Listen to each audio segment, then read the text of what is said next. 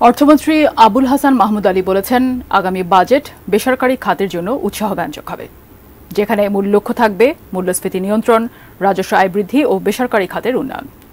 রোববার রাজধানীর একটি হোটেলে Dhaka chamber of commerce and industry DCCI আয়োজিত প্রাক বাজেট আলোচনায় এসব কথা বলেন তিনি। বিদেশি বিনিয়োগে আকৃষ্ট করার জন্য নীতির ধারাবাহিকতা দরকার উল্লেখ করে ব্যবসায়ী নেতারা বিদ্যুৎ, গ্যাস সরবরাহ নিশ্চিত করা সহ ভ্যাট কমানো ও অবকাঠামো উন্নয়নের উপরে গুরুত্ব আরোপ করেন। ব্যবসায়ীদের প্রস্তাবগুলো আগামী বাজেটে বিবেচনা করা হবে জানিয়ে অর্থমন্ত্রী আরও বলেছেন। বিনিয়োগের পরিবেশ উন্নয়নে কার্যকর নীতিমালা প্রণয়ন, সহজ ও দ্রুততম সময়ে সেবা প্রদান, কার্যকরী অবকাঠামোগত ও মানব সম্পদ উন্নয়নের কার্যক্রম হাতে নেওয়া হচ্ছে। এবং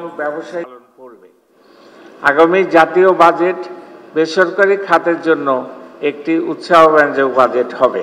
বেসরকারি খাতের সাথে নিয়মিত আলোচনার মাধ্যমে তাদের সমস্যার সমাধানে কাজ করে যাচ্ছি।